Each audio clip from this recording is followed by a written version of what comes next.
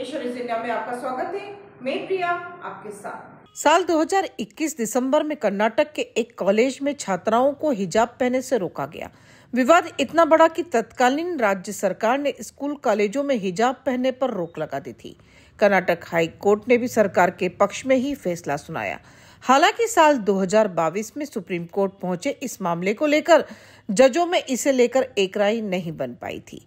अब राजस्थान में भी एजुकेशन सोसाइटी में हिजाब पहनने को लेकर बहस छिड़ गई।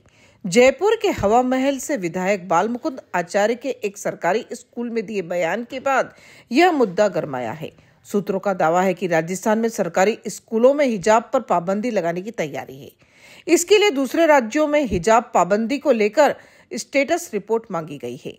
वहीं भजनलाल सरकार के वरिष्ठ मंत्री डॉक्टर किरोड़ी लाल मीणा ने हिजाब बेन की वकालत की है।